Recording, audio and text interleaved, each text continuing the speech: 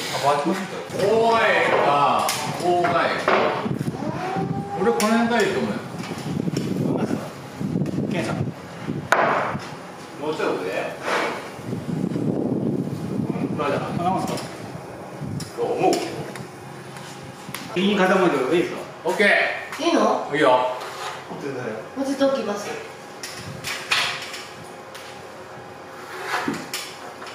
オッケー線が行きました。はいいはい。えーこの吉永駅に駅看板とともにこの市民掲示板というものを作りました。備前市吉永町や近隣地区の催しのお知らせや観光案内を掲示しています。そして、えーこのこの度地域の観光案内と住民の皆さんの交流の場を作るため筆文字駅看板と掲示板を設置いたしました。営利目的のない掲示を心がけています。吉永町を元気にする会下屋。JR より許可済み丸下屋。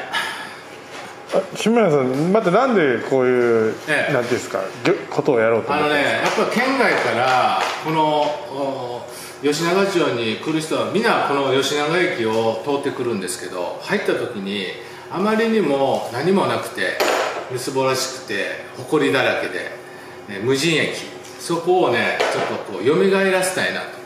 で吉永町っていうのは吉永というのは永遠に基地が続くという書いて吉永駅。それで、えーこの駅看板とこの掲示板をまずは作って市民の人たちがここを見てねこういうお祭りがあるんかとかいろんなこう活気を取り戻そうという目的で作りました。あ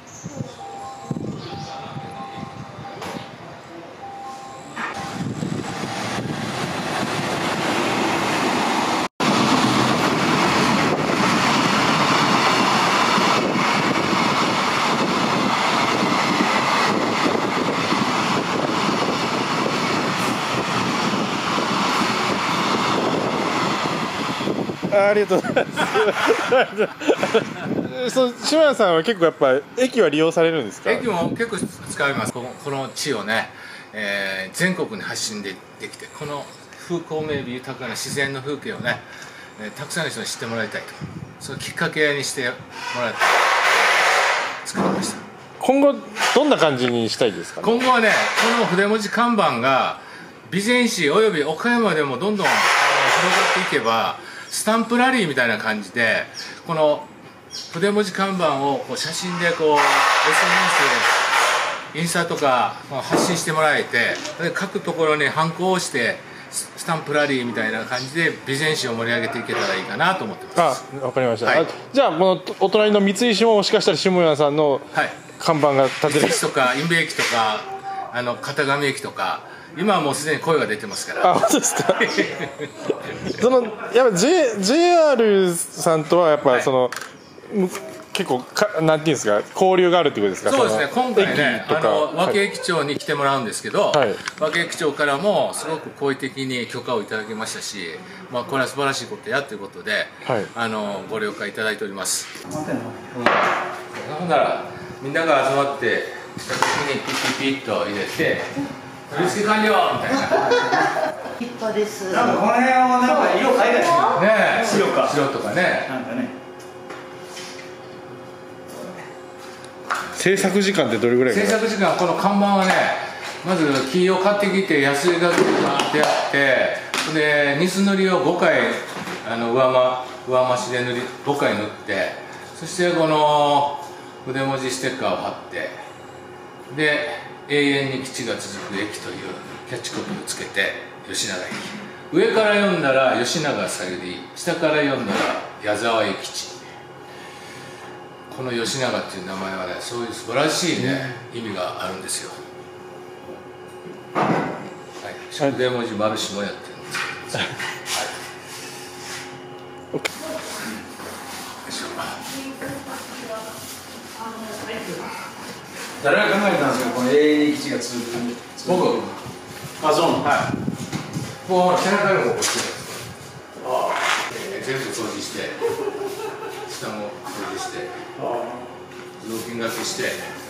ピカピカにしましたから雑巾がけして。ぐらい。あごめんなさい。あれは非常用非常用のテント。いいですよ今言われた通りこれあの明るく画像を編集して明るくすいいんですよ私はあれ見てこうなんか楽しい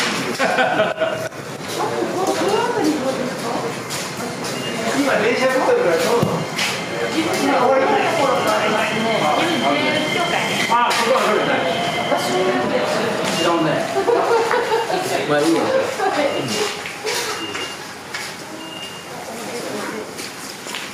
た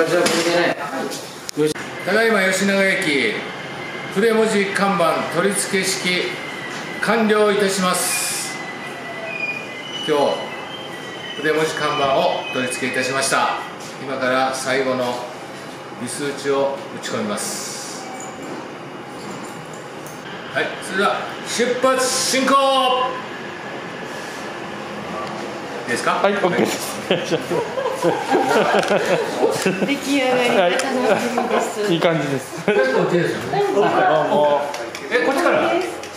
上から手入ります元気に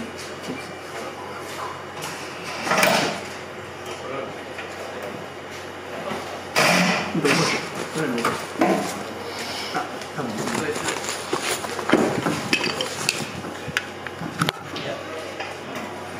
っち伸ばしてこう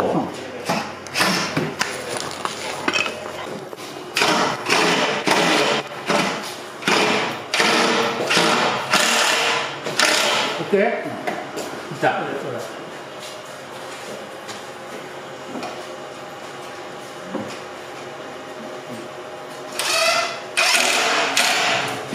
はい完了しました。はい